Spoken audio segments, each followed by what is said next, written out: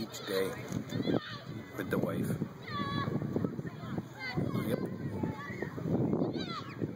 It's very nice out here.